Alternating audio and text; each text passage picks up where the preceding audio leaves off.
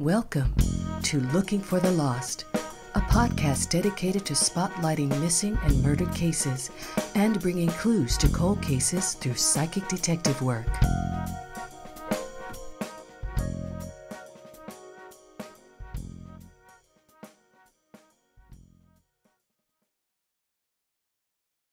Hello, everyone, and welcome to Looking for the Lost, a podcast dedicated to spotlighting missing and murdered cases. I'm Kay Reynolds, and I am so glad you joined us today. I am joined by Jeane July Hello, everybody. and Aja Kim. Hey. And today's podcast is going to be a little bit different than the usual ones. Today we're we are going to have what we call a chick chat. We're going to extend that version of our regular podcast and talk about whatever blows our way. So thank you for joining us. Sit back and have a good listen. I didn't even know they sold spells. I didn't, well, you know what? I've been on websites where people who uh, claim that they have spells, you know, that you buy the spells. Some of those people I've seen have been, um, uh, you know, practice hoodoo, and which is not voodoo. So Yeah, that's the different. difference. It's Mhm. very different. Um, you know, hoodoo being uh, a mixture of it's it's root work, what we call it, you know, in the black community, it's like root work. You hear that term like somebody's got roots on you, where they're working with elements of the earth, but it's a mixture of a little bit of voodoo, but mixed with I, I don't know, I think I want to say Native American uh uh stuff as well. It's like it's just kind of a culmination. So it's not it's not like this pure practice. It's not a pure practice. It's not like it it derived from one particular culture. It's almost it's a mix of cultures in that. And so I've seen it where websites where you know you sell that uh these spells And and what can you tell me again what's that called? hoodoo Hoodoo. Yeah. H O O D O O. So, ladies and gentlemen, if you are just now joining us, we are just having an open and frank conversation about spells, um, Yep. something that n- n- none of us do, but it's often out there in the media. And so, um, keep going, Jeane. Well, I mean, now you got my interest. I know. Well, if if the definition, if I had to say the definition is, but as I'm looking on there, it's it's a religion practiced in parts of the Caribbean and southern U.S. and characterized by sorcery and spirit possession. Um, and what I what I disagree with, with part of the the definition is is that they've include voodoo in it, even though it's like it's taking parts of voodoo, but which is actually called voodoo, and using it in this sorcery thing. And I I remember um I think I was mentioning that, you know, I saw people selling who were hoodoo practitioners selling spells online and you know if you if you want your love back or you want money you know i have spells and you you know and and they'll send you some stuff in the mail um you know i i know while i was visiting new orleans and i walked into the uh, marie laveau museum and Hmm. that museum is so interesting. I actually, it was so much energy in there. I couldn't stay. I had to like, Wow. hurry, get out. So um, they were selling what they call little grigri. So grigris are they're they're kind of like it's like a spell kind of that it, that's in it, but it has uh, properties. You know, there's something in these little bags, you know, or something in the grigri to, and it's almost like a charm and um so it was it, it was real interesting you know and that that's that's that that whole mix of stuff and even if you walked into marie laveau's museum you're going to see everything you're going to see uh, things on witchcraft uh, or Wicca, you're going to see stuff for voodoo. You're going to see stuff for Ifa, for Yoruba. You're going to see like this whole combination and lots of books. And uh, it's it's like when you walk in, and I have to share this experience because I walked in. I went twice actually. I went with uh, uh, in the same week, and I went with some friends of mine, and um, this guy was working on some, you know, putting these gree together. He was at the counter, and he kept doing this. And he kept doing this. He goes, "Oh my gosh!" He said, "I shouldn't have worn black today because they're starting to mess with me right now." So he's like, "Sure, sure," and then me being the sensitive that I was before I got stepped into this um, you know, practice of, you know, my mediumship and stuff, I started feeling like this tickling all up here. And I'm like, stop, you know, what is that? It's like feeling all this tickling. It's like, stop, stop. you know? And it was like, oh, okay, this this energy is a little too heavy for me. I don't know what's going on, but I need to step out. I need to step out. But you just saw everything. I mean, you you saw uh, even Japanese uh, deities that they had there as well. So they, I mean, they wow. covered everything. They covered everything. And, and, New Orleans is the place to go. Oh man, if you want, ever. if you're into this kind of stuff, yeah, absolutely. Yeah, yeah mm-hmm. I I will confess, I don't I don't know much about any of any of that. I find it fascinating though if you go back in history and you look at um, especially the the indigenous peoples around the world and and the practices that they had mm-hmm. you know and um, i think we could we could learn some things yes. from going back into the history and understanding things. Yeah. Yeah. Yeah. Well but, they're not just empty gestures even in any um you know religious thing like catholicism there these these they are all supposed to mean something. But mm-hmm. sometimes those meanings get lost through time or they get altered a little bit. So um yeah, yeah. Kind of interesting you know and it, it's interesting though because the indigenous have their their rituals the things that they do not that far away from what we do in religious settings as well we yeah. you know most religions have their rituals and the things that they do so it's um quite quite interesting. I will tell you this. Um, I found it remarkably. Uh, I found a remarkable connection between shamanism and Catholicism, mm. which I mm. didn't expect to find. Mm. And um, you can see it in uh, some of the the, the ritual aspect, the rituals, the ritual yes. aspect, because the Catholic Church has really ancient ritual and a lot of that, when I was reading about just learning how some of the uh, activities or the way in which they do their worship or the way in which the, um, the ancient shamans, not the modern, uh, everybody does it different now, but um, but in that in that setting, how closely connected it felt to the Catholic rituals. And it was mm-hmm. specific ones. I was watching, I can't remember, it was a it was, uh, oh yeah, I'll, I'll, I'll, give it a plug. Midnight Mass on uh, Netflix. Oh God, which, I love that movie. that was, a, that was a wild series.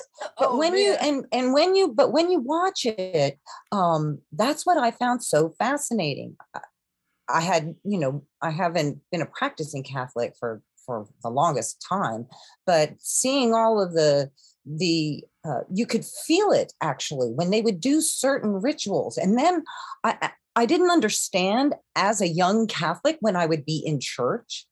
I always felt that that was like the most important part of things. I would get bored when the sermon came but all of the ritual and those aspects they drew me and they felt uh, they had a depth and a weight to them in a different kind of way that was not just a person putting their thing like a like a, a, sermon might be a sermon might be more opinion or a thought of a person but these mm-hmm. particular ceremonies were not and i saw them with brand new eyes i saw my um, the faith that i grew up in in brand new eyes and I loved the fact that there were so many connections that that they it actually made the ritual of Catholicism make more sense to me. And I know folks out there that are Catholic. I'm not saying this in a disrespectful way, just so you know. So please don't be upset. I'm not equating them, but I am saying that there are aspects of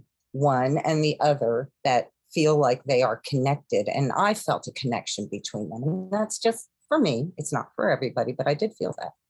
Yeah, yeah. Yeah. Yeah. Um, definitely, there are practices that are very animistic. Mhm. And with Ifa, uh, which, you know, I take, I do practice uh, parts of Ifa, uh, uh, Yoruba, in some some places called Yoruba, which is actually the culture and the people from Nigeria. And uh, the Ifa is a system. And so the animist mystic part of it is recognizing uh, all things and honoring the animals, honoring the earth, honoring the uh, things from the earth, and realizing that everything has an energy. Everything has energy Mhm. and that energy has a purpose and so it's honoring that the purpose of those things that are that we see every day that we don't realize that there's something behind it you know? That's why it's so important that we really recognize mother earth because of what she provides. And you know we we need trees. We need trees. We need all kinds of things. We need we need water. But the Mhm. energy that comes from all of that is about recognition and Yeah. um you know and so the rituals as you were saying like i know if we talk about uh you know in yoruba uh when the slaves came over to the caribbean in particular and also to brazil they brought the practices from west africa. Some brought the practices of voodoo which is from benin and some brought the practices of ifa which was from nigeria in ghana area and what they had to do in order to survive is that they were forced, the slaves were forced to become Catholic, to renounce their religion, uh, and to convert and still remain a slave. But it would save your life, basically. But however, in Yoruba, uh, or, or what some would call Santeria, what they recognized in the Catholic Church were all these saints. And the saints were very similar to their the deities that they recognized. Uh-huh. See, and so they were able to disguise their uh, orishas, as it, as we call them, orishas, uh, behind the saints. So in certain areas, Santa Barbara would be was actually Shango in certain areas. You know, um, uh, Saint Lazarus is Bobaluaye or Obaluaye. See, so they were able to incorporate that, and but then you know still maintain, um, I guess just what they call syncretism, mixing the two together in a lot of instances. So you have those that practice pure Ifa, pure voodoo, uh, and then you have those that have syncretized, you know, the, the Catholic faith with Yeah. that. Mhm. Wow. That was similar. I, Oh, sorry. oh, I was That was- okay. Who's on first? I feel like I've just been educated a little bit there. That's all new information for me. So thank you for sharing that. Yeah. Interesting. Very. That was how they did the same in uh, Catholicism in South America because that's that was stronger there. Uh, the Mhm. conversion, not just to um, uh, Christianity, but it was actually Catholicism, um, and that that was something that I think that the church actually did in order to draw people to to the church is to give it a sense of familiarity. Mm-hmm. even even uh the hymns you know back when i was studying music music history um they were talking about the early hymns. I some of those were drinking songs but but that's what the people were singing and those were the know that, melodies but- that they knew. So they just would take these old melodies does this sound familiar to anyone? Taking an old style of music and putting some modern words on it or something that's associated to your subject and that's how you bring people in. Mm. and that's an that's that's Yeah, a really old timey way of doing stuff because that's an old trick. They're doing it even now. Yeah. And wine wine has always been the beverage of choice. If you go way back in time, it's Yes. wine and beer. Wine and beer. Wine and people beer. didn't And it- drink and- water and it water was good- dangerous. Water was, was was dangerous, and so Mhm. even the children, you know, Mhm. and some countries still today, you know, that it's okay for the children to have wine at their meals and things. So, Yeah. it, you know, uh, it's the a country that I might would like to move to one day. Well, you know what they just a, just a thought out there. I don't, you know, I, don't know. I think they mix it with water now. So I know that they do in certain areas. They mix it with water for, for the children For they kids. would to, like, to don't water, kind of uh-uh, don't water down my drink. Okay. Yeah, don't- you don't- water down don't my water it drink. down. Don't water down my No, no, don't do I that. remember back in the day when I was putting myself through school. So I was waiting tables and um, I was working in a downtown hotel. So there were a lot of tourists coming in. And these two little kids came in. They couldn't have been, these two little guys, they couldn't have been more than 12, 13 years old. And they sit down. And the one looks at me and he says, I'll have a lager. And I'm like, well, I was just going to say, May I see your ID? And he just looked at me like ID. And I said, You have to be 21 to drink alcohol in this city. And Yeah. the shock on that child's face. Well, in in Germany, they used to always say that if if you could see over the bar, you could order Really? alcohol. Yeah, that's what they used to say. I don't know if that was true, but I know that drinking was, you know, with the younger ones, it was not that big of a deal with especially at mealtime as well. And in France, it's quite common for for the kids to have a glass of wine with their meal Right. you know so Right. um but yes in germany it, it was and um yeah i remember being on a flight from uh i think i was from frankfurt um coming back to the states and there was a, a, a teenage boy he looked like he was about 14 or 15 brought his own alcohol he, he you know he came prepared for the flight and uh, he got stopped by the flight attendants. Wow. and he was he was shocked and I, and I was just kind of chuckling under my breath going you ain't in Germany anymore. You're on an American flight. You know and plus they didn't uh they he he wasn't supposed to um, bring his own alcohol I- if he had if he was of Right. age he would have to Right. purchase from the airline yeah. so, but I thought it was so funny. It was like, It must have been back before they were, you know, x-raying everything in your bag and you couldn't bring fluid on and all that stuff. no, no, no. it That was after- during it? It was after all of that. Oh my Ah. gosh. Yeah, but uh, but you know the little bottles. You Oh, could get you could bring those little bottles on. The ones you could fit in a quart size. Yeah, bag, yeah, the little one. You know the little take a, sh- a shot glass. You know. yeah, you could you could do that, but it was funny. I I was kind of laughing. He was shocked though. He's oh he was poor guy. Well, but yeah, go on. well, uh, well, I want to get back t- to uh, what you were saying about Aja, about you know how the rituals were adopted into the church, Mhm. and, and that's true with with the the Celtic religion as well. Mm. Um, you know, because uh, there were things that actually were adopted into Christianity. You know, like say Easter, right? We are all about, you know, the bunny rabbits. And right? Right. And actually, even though we know Easter is really about Well, I was raised Catholic, so that was a big deal then. Yeah, so it's about- Easter we was a huge holiday. You got the new dress, you got the Easter shoes, yeah. you Same got the here. hat. Same here. we Same got the whole thing. Same here. And Yeah. But then you would go on these egg hunts.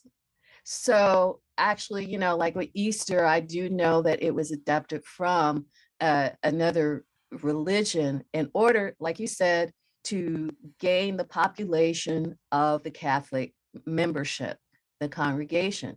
And because the the bunny actually represents fertility. And so they just kind of, I don't know how. How did they know thing- about eggs back then? How did they know about eggs? You know, for What do you- fertility. That's what I'm talking about. That connection. Right, right, right. It's like the egg, the bunny, you know, and all that was just put into, uh, you know, just kind of part of the the landscape now. You know, uh, I don't even know if most people even know what Easter's really all about outside of the Easter bunny and Easter the egg bunny hunt. for a lot of people. Mhm. Yeah. Sadly. and that's the part that they adapt. You know, that people will adopt. Uh, Mhm. versus what you know why we celebrate Easter. Uh, yeah. but uh, it's it's interesting. The same thing with Christmas. You know, the evergreen hmm that came from you know Germany. uh, Germany. Yeah, Mhm. Yeah, Germany had a lot to do with the Christmas holiday. That's where Yeah. the Christmas tree came from. Mhm. Yeah. And Yeah. and the pagans. it's from the pagan religion. It's from the pagans. hmm Where am I getting Germany? I No, think it, I it think is. Germany has something to do with it, but pagans. Chris are- Kringle is Santa. right. Mm, yeah. Well, it's yeah, it's it. You're right, Kay. It's the it's from the pagan religions that was you yeah. know, adapted into you know the Catholicism and Christianity, I should say, because it wasn't just all Catholicism. Yes. Um, Isn't that interesting? Yeah. yeah. Things that make you go, hmm. Hmm. oh. Right. Interesting. So, so ladies, it- the, we, we were supposed to talk about mediumship and psychic today. We haven't, we're not even, we haven't even touched on that. I mean, Yeah, but, that's it. We but can that's start now. okay.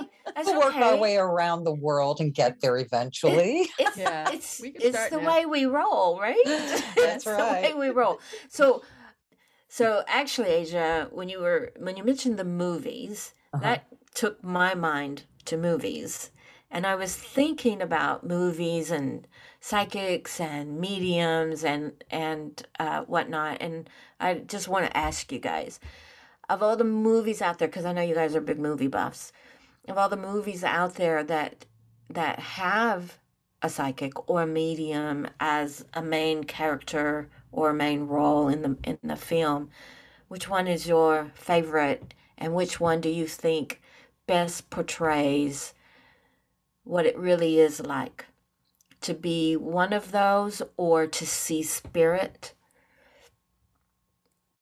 Oh, I I think uh, I just saw it recently too. Is Ghost.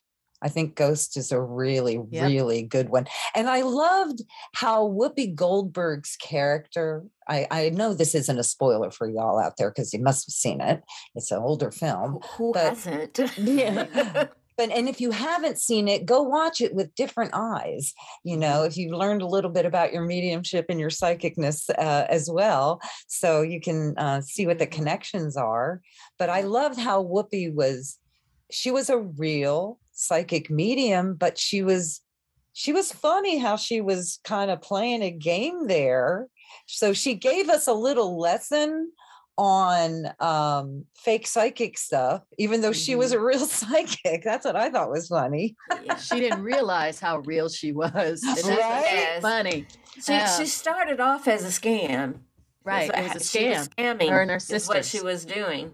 Yeah. Mhm. and then and then accidentally discovered that she she had something going on there Yeah. you know but i i liked that show too that's that's my favorite one i think it it really does show what it's like for spirit when they do pass especially in something and i know that on one of our chick chats in one of the episodes we talk about uh, what happens when somebody passes away from trauma in a, in a Yes. traumatic way, a Yeah. car accident, whatever it may be. And, you know, uh, the character that Patrick Swayze played, he was in shock Mm-hmm. that he was no longer alive Yeah. and and that happens and and i think they did a really good job of portraying that aspect of what it's like once you leave the body and you're now back into a spirit in in the spirit world Mm-hmm. what some may go through and then i, I my favorite one of my favorite parts is the part with the penny Yes, pushing the penny. up Yes. the penny.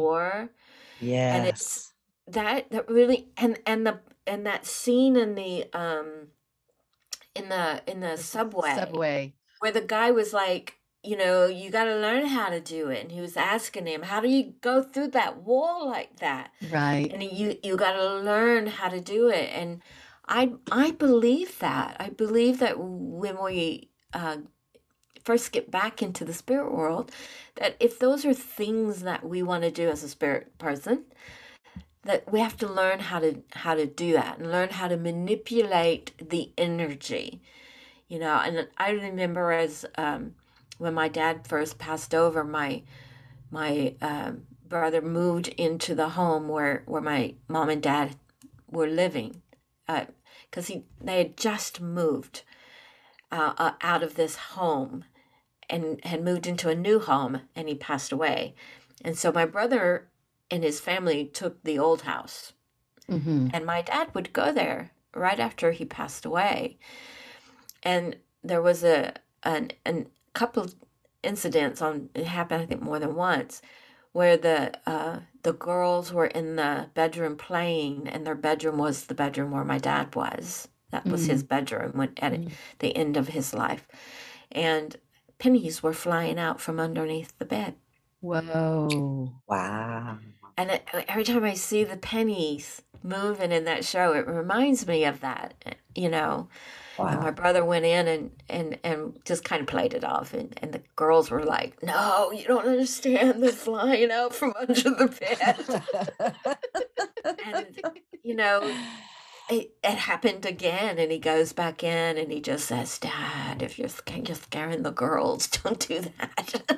Wow. and it stopped. It stopped. You're And- kidding. Wow. and it just you know it just goes to show and I, you know i know that when when my dad passed away he was never one to be into electronics he didn't he wasn't a mechanic he didn't care about any of that kind of stuff but he became qu- quite quickly after his passing a master at manipulating the radio manipulating those pennies from underneath the bed He- you know just to get our attention Mhm. and he we uh, he was uh, in a wheelchair and we had a an old van with a wheelchair lift and that was his escape out of the Mhm. house because he was pretty much homebound the last couple of years and so every day uh, it was routine that we would take him somewhere in the van he loved to just if even if it was just to you know drive and not do anything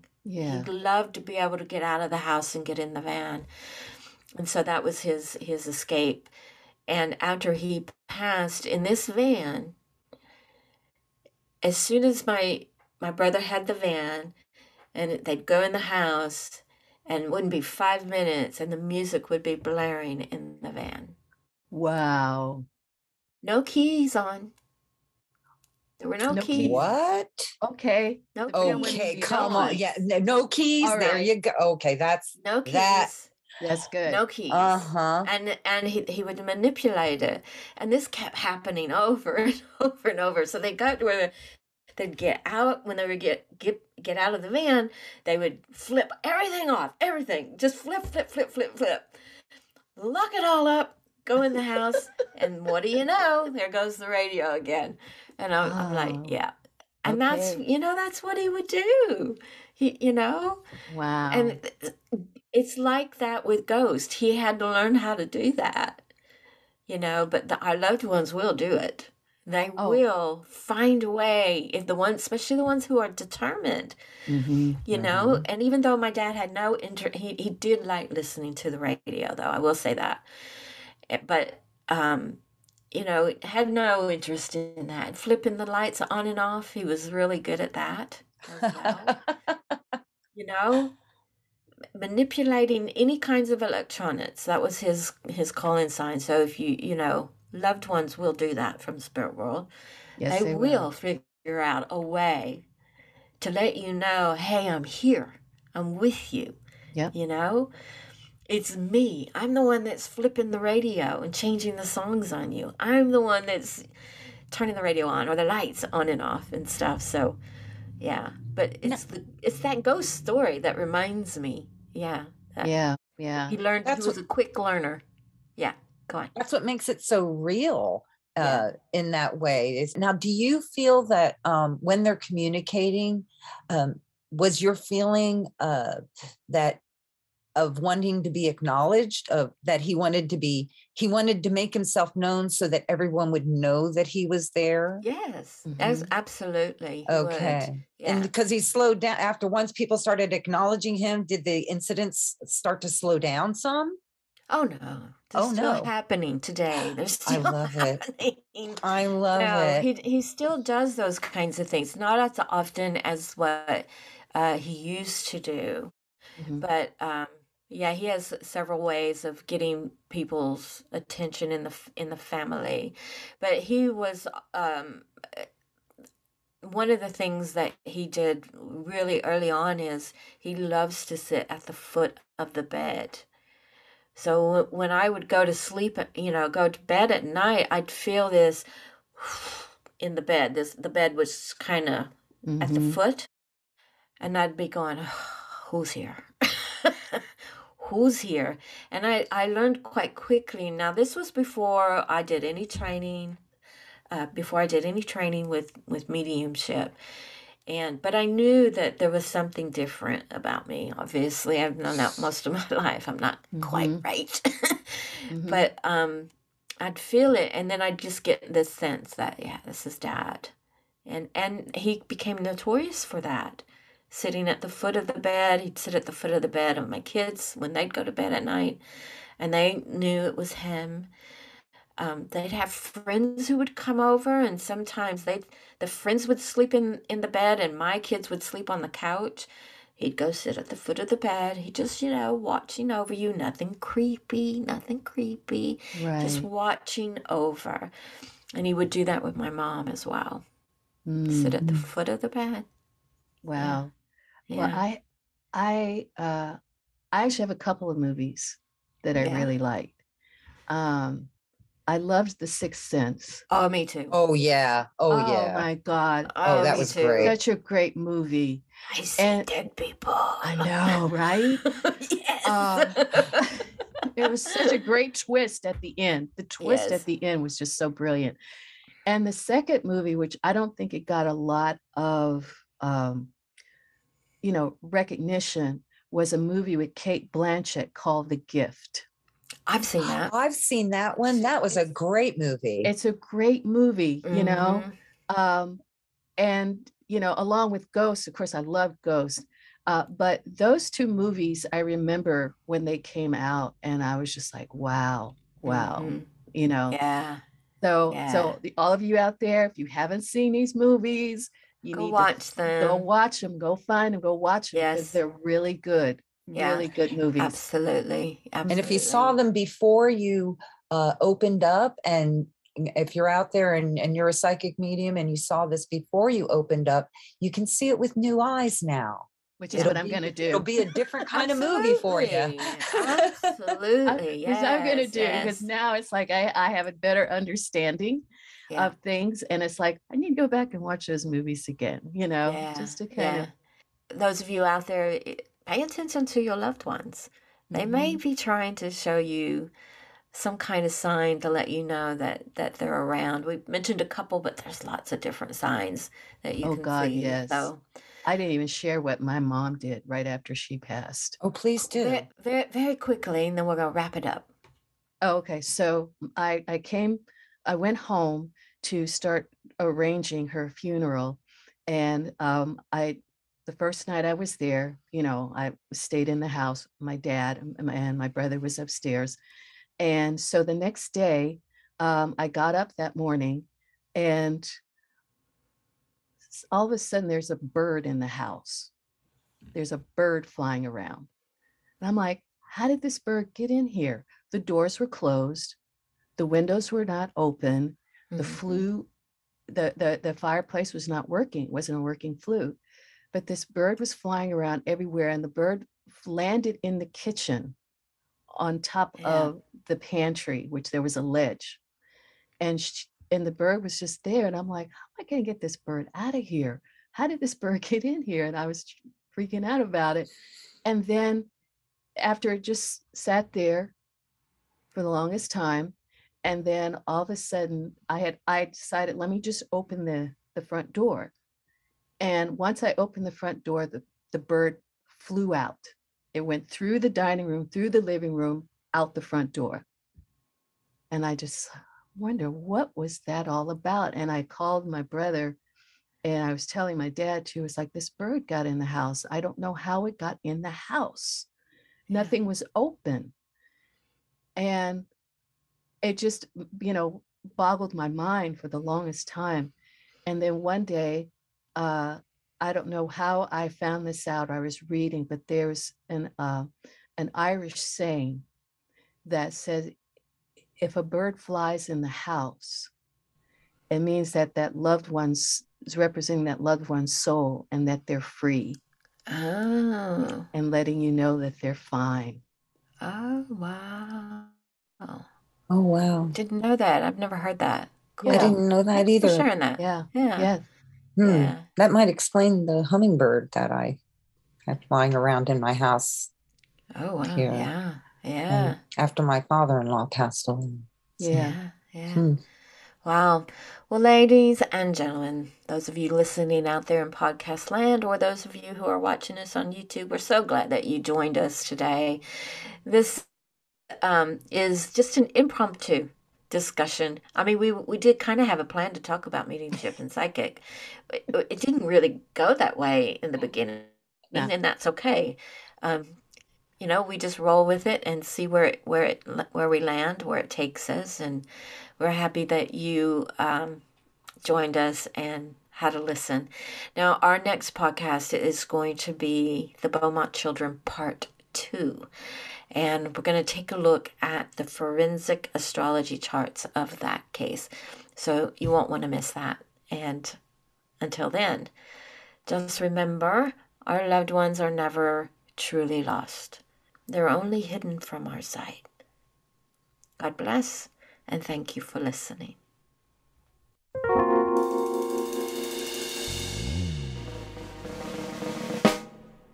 If you have any information regarding a missing or murder case, contact your local authorities.